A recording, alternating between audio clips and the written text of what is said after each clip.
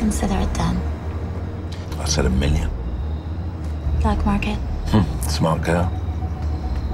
There is one more thing you should know. He's got a soft spot for pretty girls.